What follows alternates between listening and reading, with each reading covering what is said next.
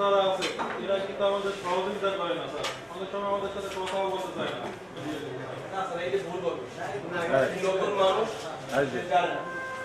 ঠিক আছে ঠিক আছে বসেন বসেন বসেন। বসেন বসেন।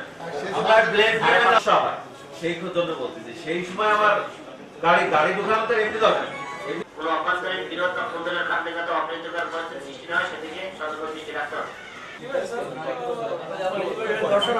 দশরা হয় মানে কৃত্রিমার দশরা প্রত্যেক জেলা উপজেলা। এই বিষয়টা এখানে আছে। নির্বাহী ম্যাজিস্ট্রেট নিয়োগ আহ, এখানে ইউজ করবেন তার জন্য অবশ্যই ভালো মানে তার এটা কিন্তু নিশ্চিত করতে হবে।